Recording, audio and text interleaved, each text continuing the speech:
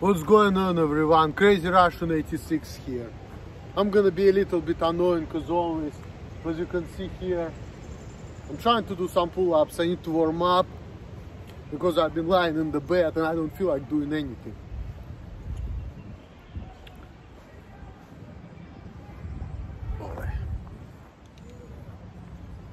And I'm actually young, you know, like I met somebody who's like 62 years old. It's a Jewish Israeli man.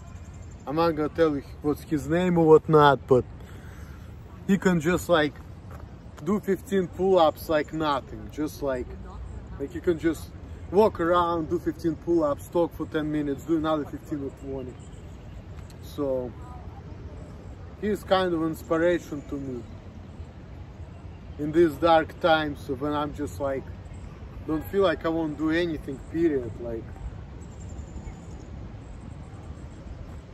but without further ado guys I'm just gonna kind of be in the end so you can see me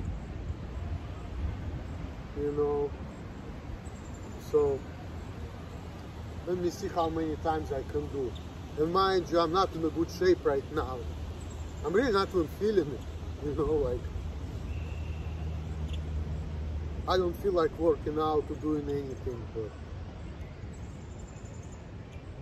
you see how many pull-ups can I do? The other day I did like nine, so I could have done maybe a little more, but I'm gonna see if I can do 10 good ones this time, so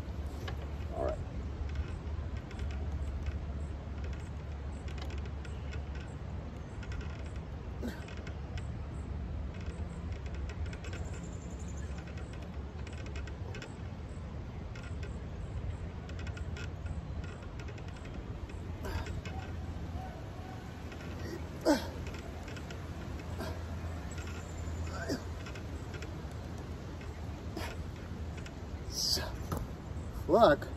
I mean, kind of. Kind of. Even when I'm out of shape and I'm not feeling it, I still can do like pretty much 10 pull-ups. Even though my last one kind of sucked, but hey.